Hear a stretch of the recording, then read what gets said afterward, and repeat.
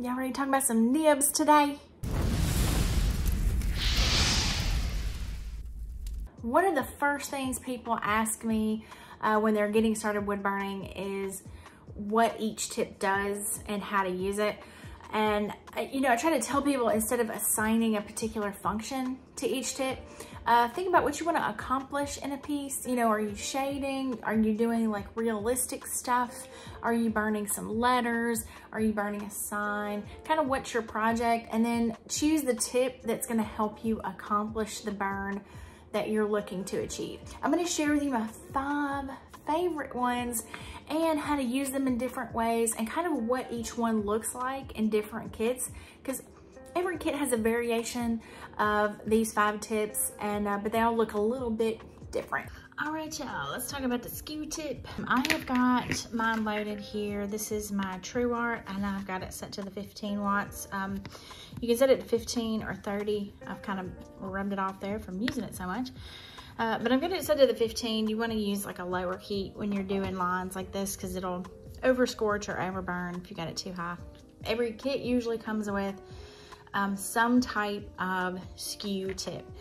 So if I'm gonna be outlining letters, um, I like to use the skew tip because it gives me a nice crisp outer edge. Um, I also like to use it for like any kind of silhouette burn that I'm gonna be doing where I'm gonna be filling in artwork because I want that nice clean border on the outside with minimal bumps. Let me just show you. I'm just gonna burn some lines here. And you can see it just gives you a nice crisp edge, which is really what you're looking for. Now you can do other things with it. So if you wanted to get really good at like doing like a hatch shading type thing, you could absolutely do that. Now, I don't typically use this tip for that. You want to start with a, a darker line and then kind of fade to a lighter one.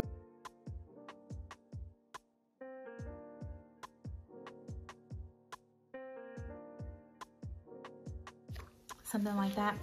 Um, hatching is really about just putting lines in place of a shadow. Um, this is kind of more like a, a, gradient, but I mean, you can combine the two. Typically, the skew tip is perfect for straight lines. It's really um, the majority of what I use it for. But if you want to experiment and try different things with it, you can absolutely give it a go. Let's look at the RazerTip skew. So I've got it loaded here. A lot of the wire tip brands are going to have different versions of skew tips. This is one of my Optima skew tips. You can see it's really nice and wide and uh, it just creates a nice, a really nice crisp outer edge.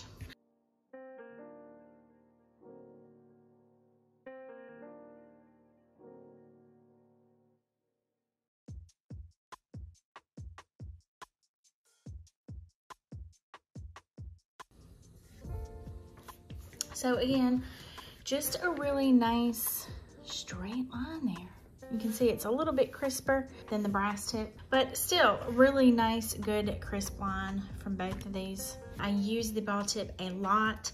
And to me, the ball tip and the writing tip kind of overlap in duties, uh, but the ball tip has a really specific function and then it creates a nice perfect dot pattern. So if you're wanting to do stipples and dot patterns and stuff like that, it's the perfect tip. But you can also use it for outlining and writing and for filling in with texture. It's an extremely versatile tip.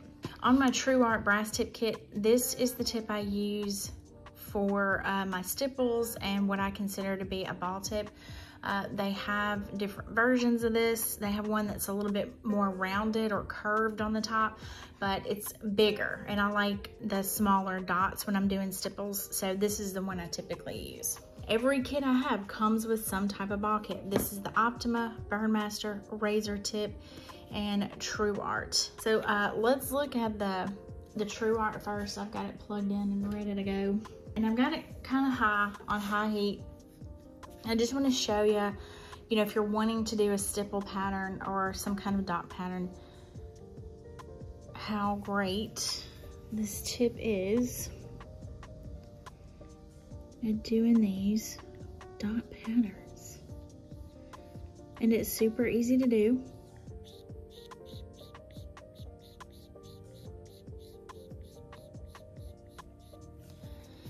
So I typically use this type of texture to fill in or um, to create uh, some gradient effects. So you can do similar to what we did with the hatching where you start with a darker area and then you just kind of fade it out. But with the stipples, you just fade out the density. not really changing the tonal value of the dot itself. I'm just changing how many dots there are. And it overall gives it the look of being shaded.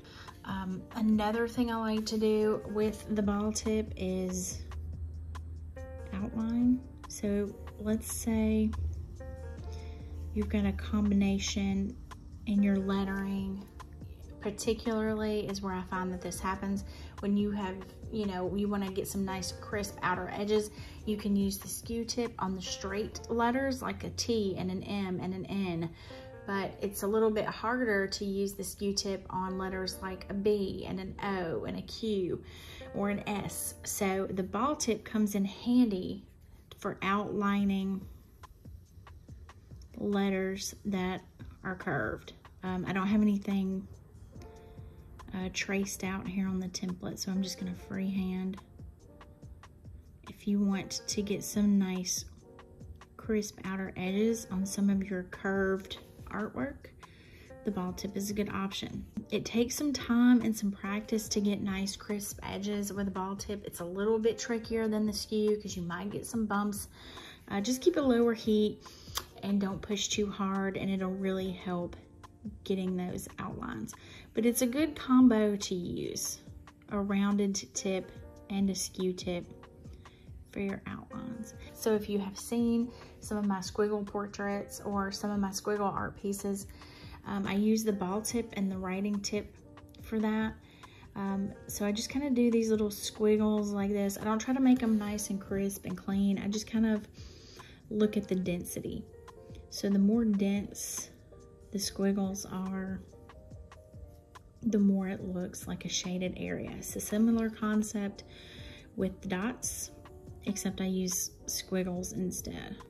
And I could get even denser with my squiggle work.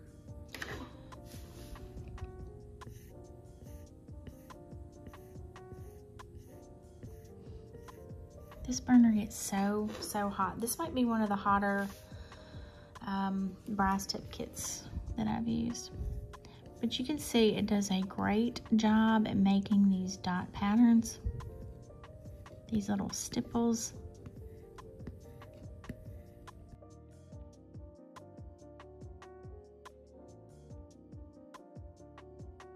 Again, very, very versatile tip. Now, let's look at that writing tip. Okay, so let's talk about this writing tip. Uh, this is a another tip I use a lot, a lot, a lot because it really helps me in the squiggle pieces that I do, which is my primary style now. Uh, this tip from the brass tip kits is again what I refer to as the writing tip. This is Optima's. This is RazerTip's, and I believe RazerTip has some other versions of this as, as well. Uh, this is TruArt's. You see this one in a lot, a lot, a lot of my videos.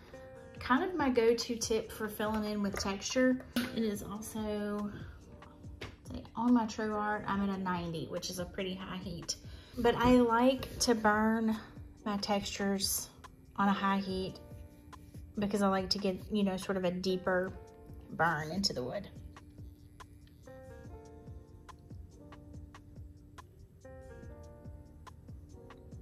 Again, I do these like squiggles like this. Uh, but I also use the writing tip to fill in with a line texture. So if you've ever seen any of my lettering videos, you will see me use this tip to fill in. Let me just like freehand um, a T. It's not gonna be great because I'm not great at freehanding. Okay, That's not terrible, but it's kind of a boring T. But you can see, let me turn my canvas a little bit here so you can see what I'm doing.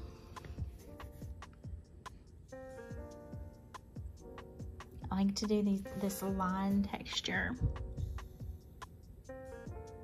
It just creates a, there you go, you can see the texture a little bit. It creates a really nice texture inside of the burn instead of doing just like a plain flat fill. Just gives it a little bit more visual interest. So when you have a large piece or your piece with a lot of lettering, if you've got a nice texture filled in there, it looks really nice. So again, you can just do this, this sort of line texture with this tip.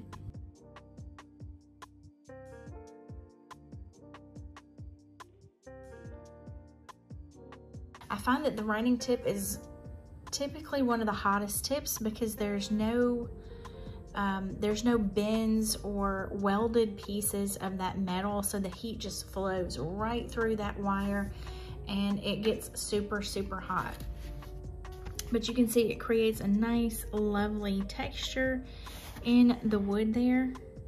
And if you can imagine like a full piece with lots of texture this is the RazerTip version of this tip that I have.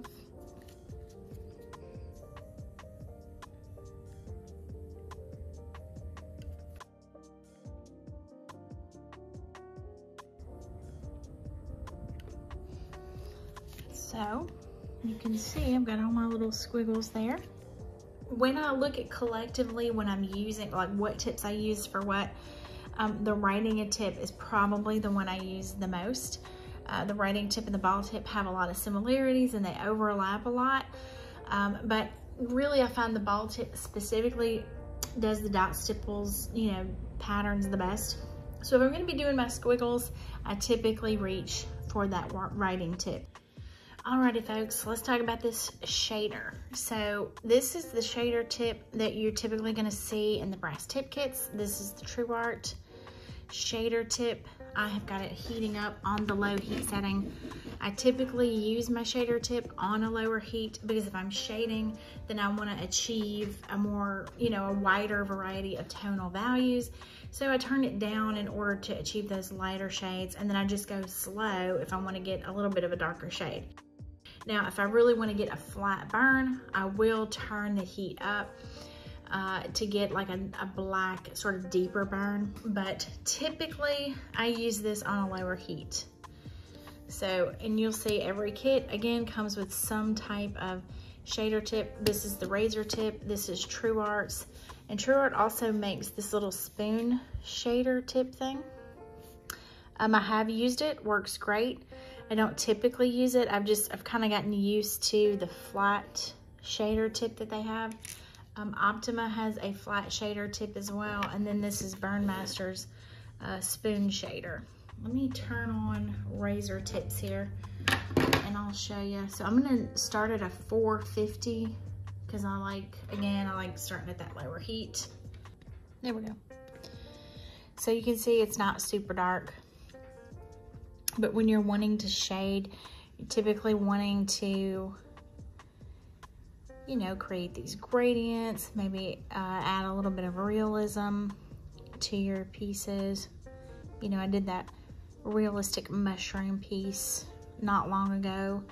And this is the tip I used to do that. I also turned it up like this and added some lines when I needed to add some lines you know, if I want to achieve a darker color, I just go a little bit slower. And I use this circular motion to keep the tip moving. Anytime you're trying to do shading or gradients, you want to keep that tip moving, moving, moving. So I'm going to go up to 600 if I want to achieve like a deeper burn. I can just go up in my heat. You know, you can also just pull the shader like this and create some gradients that way.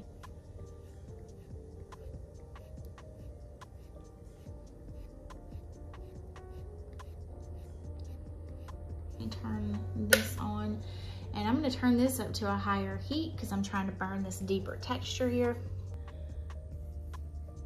And it creates this lovely like horseshoe pattern.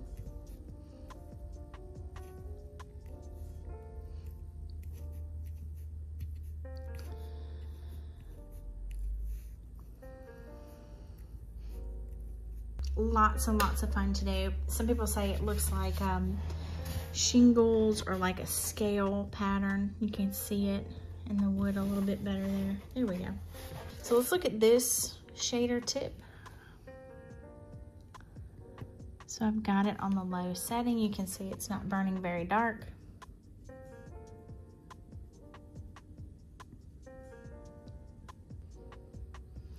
But you can also use it the same way you do the other tip. It's kind of a medium tone, but if I wanted to go a little darker, just go slower.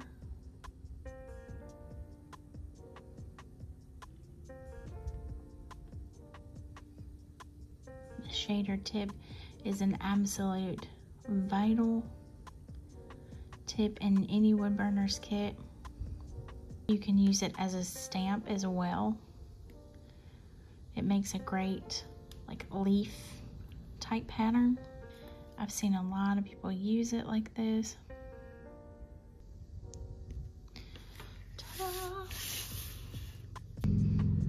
And of course you can use it to fill. If you have an area where you just want to fill in with a dark burn. You can also turn the shader on its side and use it for line work. It's not going very well here, as you can see. There we go.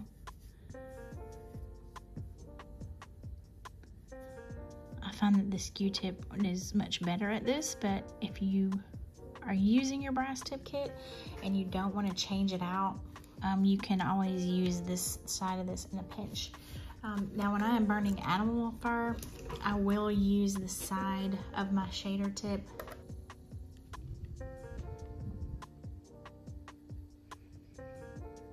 And I just create animal fur using the side of the tip there. It creates nice little streaks like this.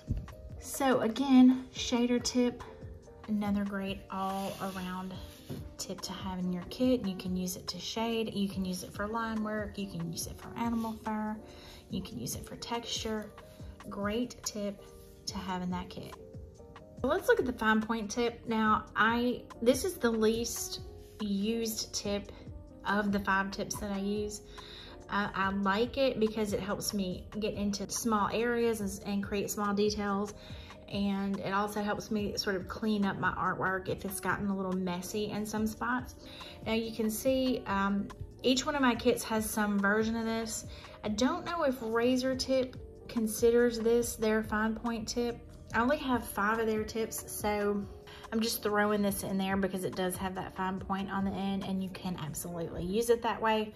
These two tips are from TruArt in my TruArt kit and I have seen these in other tips as well like the Chandler and the Walnut Hollow. Um, typically that you're going to see tips like this in these types of kits. It is a soldering tip. Now you can use it on your wood burner to wood burn. I don't recommend it just because because it's so long um, they tend to break easier. It's just not meant to be used for wood burning. It's meant to solder, which you don't need a lot of pressure for. So what happens is people push down on them too hard and because it's so long, it just breaks super easy. So you wanna use the short ones that come in the kit. This is the one from TruArt. It is probably my most favorite fine point tip. Um, I just like the shape of it. I use it the most, so I just am comfortable with it you know, you can burn lines with it and stuff like that because it's kind of thin. Um, it doesn't work as well as a skew tip does. It doesn't work quite as well as getting straight lines as the skew tip. Just because of the that sort of weird angle on it. You have to kind of hold the pen weird and it just kind of doesn't work as great. But it, it'll get you through in a pinch if you just absolutely need to use it that way. You know, it kind of gets down into the details and helps you create little fine point details. If you have some like small details to get into and maybe your um, writing tip or skew tip was just too wide or too, too thick, you can use this fine point edge to just kind of get down into the smaller spots. And it does a great job of doing just that. You could use it for the stipple like this, but I mean, if you got a ball tip, you know, just use the ball tip. These are really, really tiny stipples too. But what I like to use it for also is kind of cleaning up my artwork. So like if I've got some bumps, just kind of go over the edge